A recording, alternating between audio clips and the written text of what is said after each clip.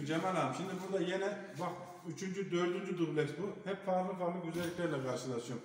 Buradaki dubleksin özelini de söyleyeyim böyle başlayalım gezmeye.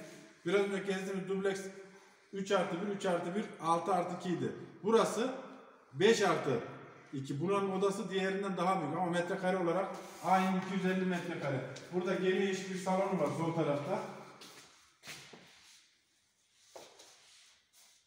Gene diğer yerlerde olduğu gibi burada da karanlık oda yok. Sol tarafta mutfak.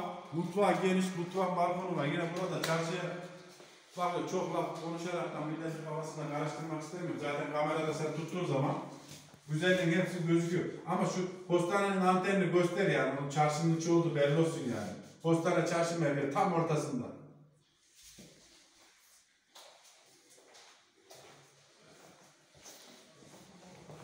Yine burada da banyo tuvalet. Bunun aynısı üst tarafta da var. Banyonun yanında yine bir tane odası var. Burada açığa aydınlığa ulaşıyor. Şurada lamba bir şey yok. İçerisi aydın şekilde.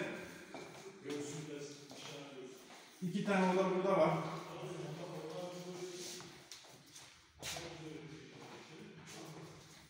Dublekslerin merdiven yapıları çok hoşuma gitti.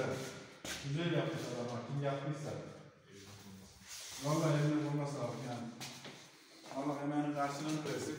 Benim çok hoşuma gitti. Ha, burası da çok hoşuma gitmiş gene. Aynı aşağıdaki mutfak kalitesi burada da var. Bu terasa çıkmadan diğer odalardan gösterelim de.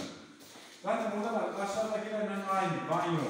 O da sadece mutfak kısmı değişiveriyor. Bir de buradaki odaların o çatı otantik. Yine burada üst kata açılan çelik kapısı var dışarıya. O da bir avantaj.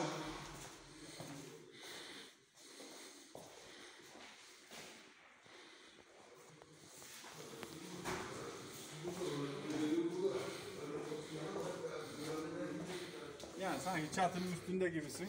Gene şehir ayaklar altında. Bak buradan öğretmen evi, okullar falan daha net gözüküyor. Böyle bir kamerayı gezdirelim. Zaten burayı bilenler bilir. Burayı anlar zaten. Gene söylüyorum bu binanın altı da e, alışveriş merkezi olacak. O bile avantaj yani. Esnafki bile buradan gözüküyor. Bak görüyor musun? Görüyor musun? Burada yine alışveriş şimdiden hayırlı uğurlu olsun. Gerçekten güzelmiş yani içerisinde.